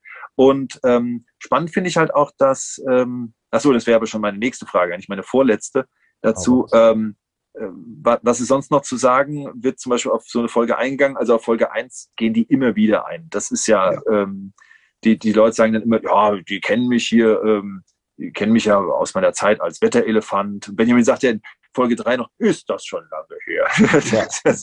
Ja. Und ähm, schön finde ich es ja, dass die letzte Folge, die Edgar Ott spricht, die Folge 80, dass da ganz viele alte Folgen noch erwähnt werden. Benjamin sagte dann irgendwann, ja hör mal, wer Wetterelefant war und das gemacht hat und das gemacht hat, der wird ja wohl noch so eine lächerliche Zooheizung repariert kriegen und so.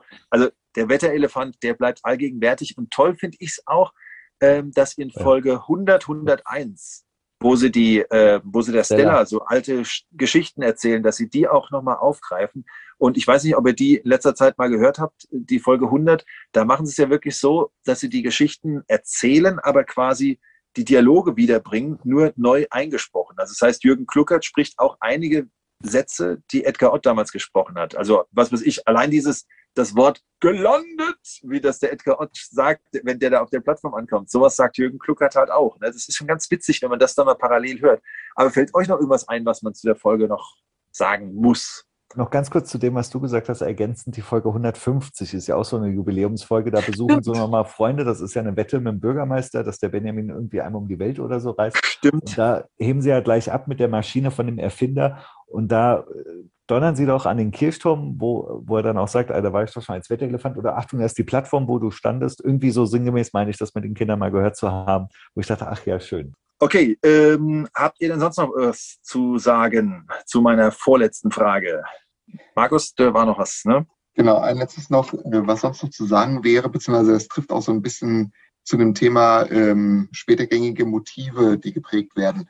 Ist, ähm, ich finde es ja so schön, dass konsequent ab Folge 1 eben dieses äh, Charakteristikum, diese Namen mit den Alliterationen und auch der Eigenschaft quasi im Nachnamen dass das von Anfang an quasi geprägt wird. Klar, natürlich auch schon mit Benjamin Blümchen und so weiter, ähm, aber auch ne, mit, mit, allen anderen Figuren, dass das so konsequent äh, dann auch durchgezogen wird. Das find, und, und auch sehr, sehr ähm, treffend immer mit Herrn Schläfrig und so weiter. Also das finde ich einfach nur wirklich sehr bewundernswert und das ist ja im Prinzip ja eines der prägenden Dinge, die bis heute noch Gültigkeit haben. Absolut richtig. Gut, dass du das noch gesagt hast. Hast du absolut recht. Äh, genau, Otto ist noch so eine Ausnahme. ja, auch Wetter Karl, äh, aber die anderen. Aber schon. Und beim Bürgermeister fällt noch ein, dass bei dem ja noch ein bisschen gebraucht wird, bis dann ähm, der Name so richtig steht oder bis sein, bis sein, bis seine ganze die Figur äh, eigentlich letztendlich wirklich geschaffen ja, ist. Ja, das ne? stimmt, das stimmt, ja, genau. Äh, toll, vielen Dank. Dann, ähm, ich habe jetzt soeben einstimmig mit mir beschlossen, dass wir heute nicht zur Folge 3 kommen. Die heben wir uns vielleicht einfach mal auf, sondern ähm, jetzt gleich nach der Wertung von Folge 1 noch die, die zwei vorknöpfen. Und dann haben wir die zwei Folgen von 1977 und damit den, den Beginn des ähm, Kosmos, des Neustadt-Kosmos ja äh, quasi besprochen. Wie sieht's denn aus bei euch? Wertung 1 bis 10. 1 heißt äh, einmal und nie wieder und 10 heißt großartig. Ja. Aber jetzt für die Folge 1. Für die Folge 1, ja, natürlich, Entschuldigung. Also, ich sag mal so, ich habe meine persönlichen Lieblingsfolgen, weil sie halt wirklich äh, den maximalen Unterhaltungswert haben. Aber dadurch, dass die Folge 1 schon wirklich extrem wegweisend ist und auch eher so auf einem ganz hohen Niveau Unterhaltung bietet, würde ich eine klare 9 geben. Da schließe ich mich an. Ja. Wie lustig, ich auch. Ich habe ich hab überlegt, nee, zehn noch nicht, aber kurz davor, weil als Erstlingswerk und gleich so hammermäßig, also ich glaube, wäre die auch nicht so gut gewesen, hätte man es auch wirklich nicht weiter fortgesetzt, deshalb neun auf jeden Fall. Cool, das finde ich stark. Ja, ich wollte wollt zusammenrechnen, durch drei rechnen. Äh, ich glaube, das brauche ich jetzt nicht machen. Das funktioniert auch so. Sehr, sehr stark. Vielen Dank. Ähm, ich hab, war kurz in Versuchung äh, zu fragen, was denn deine Lieblingsfolgen sind, weil ich selbst auch immer so, so das Bedürfnis habe, allen meine Lieblingsfolgen überzubraten. Aber wir heben uns das mal ein bisschen auf. Ja. Äh, wir, wir verraten es nicht in diesem, in diesem Pilot. Wer, wer weiß, ob und wann das hier mal weitergeht. Und das heben wir uns mal noch ein bisschen auf, um, um unsere zwei Zuhörer auch noch, ähm, um da die Spannung zu halten. Ja, und die gut. Zuhörerinnen und Zuhörer können ja schon ihre Lieblingsfolge in die Kommentare reinschreiben. Oh, ach, du bist einfach, ja, du bist halt der Jüngste, du, du bist einfach am, am nächsten, ja, am zeitnächsten. Sehr Absolut. schön. Wer hat, denn, wer hat denn Spaß, ähm, Folge 2 Rettet den Zoo mal äh, den Plot wiederzugeben? Hat das jemand oder soll ich einfach ein bisschen erzählen? Also ich werde das als deutliches Ja, ich soll das machen. Okay. Also, ähm, ich verrate jetzt schon mal direkt, wir erleben hier ein neues Motiv, das sich durch die Folgen durchzieht, nämlich der Zoo hat Geldsorgen. Jetzt äh, in der jungen Reihe zum ersten Mal. Äh, die Geldsorgen sind so katastrophal, dass sogar ein, ähm, wie nennt man den? Ach, Gerichtsvollzieher. Danke, ein Gerichtsvollzieher kommt ein und Kuckuck und Kuckucks draufklebt. Sogar auf den Kuckuck klebte einen Kuckuck. ähm, ganz witzig, das kann man auch jetzt schon verraten, ähm, dass äh, Siegfried Simpel, sprich der spätere äh, der spätere Pichler-Sprecher Wilfried Herbst, dass der hier den Gerichtsvollzieher spricht, was ich übrigens auch sehr spannend finde, wenn, wenn Leute so die Seiten wechseln. Vorhin habe ich ja bei Edgar Ott gesagt, wie genial ich das fand, als der mal den Bösen gesprochen hat. Bei Till Hagen ist es ähnlich. Der hat bei der Jubiläumsfolge 200 von den drei Fragezeichen den Bösewicht gesprochen und so fies, also wirklich so gemein. Und das ist der liebe Werter Kahle. So ist es hier auch, dass der Wilfried Herbst hier den in Anführungszeichen Bösen spricht, den ist ja nicht wirklich böse. Der Gag ist jetzt, ähm, Benjamin überlegt sich mit Otto, wie man an Geld kommt. Sie versuchen sich an einigen Berufen, an einigen ja, Aktivitäten, über die wir auch gleich noch sprechen werden, die sind einfach nur großartig. Auch ganz witzig, dass hier einige Berufe genannt werden, die ein Elefant ja nicht machen kann eigentlich. Ja, Gärtner oder so. Und später wird er das halt dann doch. Aber am ähm, prägsam, einprägsamsten ist dann halt doch, wie Benjamin den, den Betrug aufdeckt vor laufender Kamera mit dem Superkleber, der gar, der den Elefantentest nicht besteht. Der Superkleber, Supertest besteht, äh, Superfest besteht keinen Elefantentest. Ja, genau. ähm, Wie hieß nochmal der, der, der Regisseur von diesem Beitrag? Ach, der hat so auch wieder so einen herrlichen Namen, das, was du, Markus, sagst. Ulrich. Umsatz? Ja, ja, genau. Das ist Ulrich danke. Umsatz. Hier, genau. Boah, Herr Blümchen, wo bleiben Sie denn? Hier bin ich, Herr Umsatz. Das ist so süß, wie Gott das sagt. Das ist wunderschön. Ja, also nach all dem kommt mit Hilfe von Carla Kolumne, die von der Geschichte ja so begeistert war, äh, kommen sie auf die Idee, dass der Zoo einen Zirkus macht. Also, dass die sich etwas überlegen, eine Show machen quasi, mit der sie Geld verdienen. Und hier zeigt sich auch, dass der Bösewicht gar nicht so böse ist. Der sitzt dann an der Kasse und noch bevor die Show losgeht, sagt er dann schon zum Herrn Tierlieb, Herr Tierlieb, ähm, das Geld ist schon zusammen oder so, also bevor die Show losgeht. Und dann kommt die große Show, vieles wird präsentiert, aber vor allem Benjamin hat das große Kunststück des Abends, auch ein Motiv, das hier gelegt wird. Und es ist der Rüsselstand, so viel dürfen wir schon verraten, davon bei einer Folge von 77 von Spoilern reden, also ich weiß gar nicht. Also der Rüsselstand ist das große Ding, das den Zoo quasi rettet und ähm, alle sind glücklich und zufrieden. Das ist Folge 2. Ja, ich lege jetzt hier direkt mal los und ich glaube, beim Plaudern kommen wir, kommen wir auf jeden Fall äh, noch auf den Plot und auf wichtige Dinge. Wie gut arbeitet das Team Benjamin und Otto für euch hier zusammen? Weniger gut, weil der Benjamin äh, durch sein Geheimnis mit dem Rüsselstand dem Otto nicht alles erzählt. Und da wird das noch nicht so deutlich, aber das fuchst den Otto doch ein bisschen. Deshalb, ähm, aber ansonsten denken Sie schon überlegen Sie zusammen, aber ist das nicht auch die Folge? Nein, das wechsle ich mit der nächsten, entschuldigt. Weil bei der nächsten, da zieht sich Benjamin zurück, um wieder eine Idee zu schmieden. Aber es ist auf jeden Fall nicht so eine, ein Kopf und ein Arsch wie in der ersten Folge. Ja, das heißt, am Anfang denken sie ja noch gemeinsam nach, wie man an Geld kommt, aber sobald Carla Kolumna mit im Boot ist und da, da zeigt er ihm und auch genau. den anderen nicht sein Kunststück. Das ist ja, da kommt auch dieser herrliche Satz, diese, ähm, warum nicht? Das ist ungerecht. Dieses Ungerecht finde ich so lustig ausgesprochen. Das brennt sich so ein ins Hirn. Markus, wie siehst du die Zusammenarbeit der beiden? Ist in der Folge auch deutlich schwächer, aber äh, Otto ist auch insgesamt diesmal nicht so, wie soll man sagen, nicht so supportive unterwegs. Ähm, mhm. Also beziehungsweise er hat nicht so die, die Lösungsansätze oder Ideen, die er sonst auch schon in Folge 1 gebracht hat. Ich meine, sie erleben ja sowohl mit dem Gärtner-Dasein äh, eine herbe Niederlage als auch mit dem Superkleber Superfest, äh, wobei das ja Benjamins Entscheidung ist, diesen ähm, ja. Betrug aufzudecken. Insofern aber Otto ist ganz stolz. Otto ist ganz stolz. Ja, richtig, genau. Aber trotzdem ist er insgesamt in seiner Rolle, finde ich, schon ein bisschen auf jeden Fall geschwächt ist das falsche Wort, aber an der Stelle muss er anderen Darstellern ein bisschen mehr Platz machen einfach. Yes. Deswegen, also da ist das Duo nicht ganz so ausgeprägt. Das ist dann fast eher schon so dieses Trio gemeinsam mit Carla Kolumna. Richtig. Sehr, das hast du echt sehr schön ausgedrückt. Das führt auch schon zu meiner zweiten Frage. Besondere Figuren und oder Sprecherinnen. Ich meine, das ist ganz klar. Carla Kolumna, Gisela Fritsch, ähm, die, die tritt auf und, und es ist unfassbar. Ich meine, der Ulrich Umsatz ist auch nicht schlecht. Ist ja auch eine Stimme, die immer wieder mal vorkommt, später noch. Ich weiß gerade nicht, wie der Sprecher heißt, aber die Stimme kennt man einfach, kommt immer wieder Manfred mal vor. Schuster. Dankeschön, ja. Und ähm, ich glaube aber, Gisela Fritsch ist wirklich, also Carla Kolumna ist die Figur der Stunde, die Figur der Folge. Ja. Aber nichtsdestotrotz muss man auch fairerweise dazu sagen, ähm, dass in der Folge gefühlt schon ein bisschen sowas einrastet, ne? weil ich sag mal, ein Werther Karl als Till Hagen wird quasi gefunden, der Zoodirektor Tierlieb ähm, ja, stimmt. wird gefunden. Ne? Also von daher, da, da, da so gefühlt rasten also bestimmte Zahnräder einfach ein. Mit seinen ja. Geldsorgen auch, der Tierlieb. Stimmt, die Geldsorgen, klar. Ähm, man muss nur dazu sagen, sie sind, sie rasten ein, aber ähm, haben in späteren Folgen noch kleine Aussätze. Ja. Also ähm, gerade äh, Theo Tierlieb, Sprecher, ähm, ist ja in der nächsten Folge, die wir heute nicht mehr schaffen, aber bestimmt das nächste Mal, da ist ja noch der, ist ja dann der Bürgermeister, äh, der dann die große Rede hält, ohne zu wissen, worum es eigentlich geht. Was, Herr Blümchen ist auch hier, das ist ja schön. Nein, falsch, ganz falsch. so. Fastillionen. Ja, genau.